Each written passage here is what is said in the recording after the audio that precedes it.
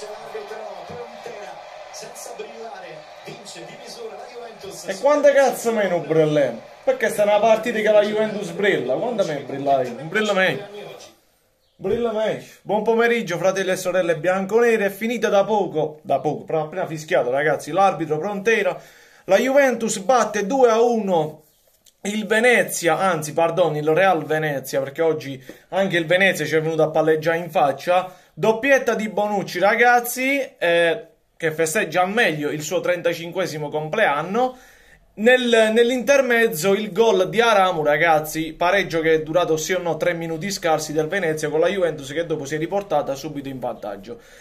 E che vi devo dire ragazzi, classica partita della Juventus, ormai non c'è neanche più da meravigliarsi, partita bruttissima ragazzi, la Juventus fondamentalmente era partita pure bene i primi 10 minuti nella quale era riuscita a trovare il gol col Bonucci proprio, sfruttando una sponda di Vlaovic e poi come al solito spegne l'interruttore e fa giocare il Venezia che già nel primo tempo era andata vicinissimo al gol del pareggio con un colpo di testa di Harry che è uscito veramente di pochissimo al lato di Scesni, non ci sarebbe mai arrivato. Secondo tempo, ragazzi, letteralmente meglio il Venezia, letteralmente meglio il Venezia che ci è andato vicinissimo eh, per due volte consecutive con Aramu, autore poi del gol dell'1-1 e Aramu, ragazzi, al secondo gol in campionato e indovinate tutti e due che li ha fatti proprio, esattamente proprio contro di noi. Aramu non segnava alla, dalla dalla partita proprio di andata contro la Juventus, gol dell'1-1 che poi valsi il pareggio finale.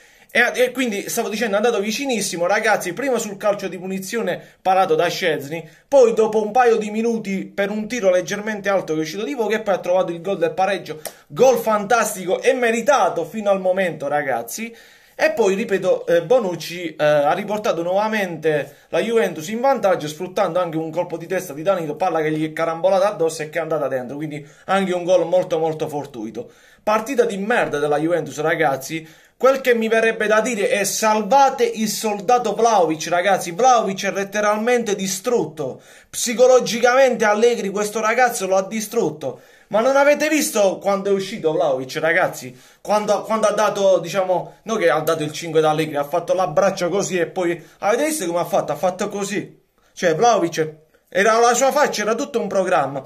E ovviamente, ragazzi, ho letto già commenti negativi su Vlaovic, mi sto ricredendo su Vlaovic, e questo sarebbe mister 90 milioni di euro. E io lo sapevo che andava a finire così, ragazzi, io lo sapevo che andava a finire così. Io lo sapevo che il capro espiatorio d'ora in poi sarebbe diventato Vlaovic. Perché adesso, ragazzi, Di Bala, siccome non rinnoverà con la Juventus e andrà via a parametro zero, e adesso dobbiamo, cerca dobbiamo cercare un nuovo Dybala alias un nuovo capro espiatorio. Mica si può criticare Allegri che Allegri l'ha, pro proprio distrutto. Il morale di Vlaovic è sotto i piedi proprio. No, no, non a terra proprio sotto i piedi il morale di Vlaovic sotto terra è il morale di Vlaovic l'ha proprio distrutto. Perché ragazzi Vlaovic che mi sbaglia gli appoggia a un metro di distanza appoggia a un metro di distanza che quello quando stava a Firenze faceva con l'occhio chiuso e pure con il culo vi fa capire mentalmente come sta quel ragazzo lì.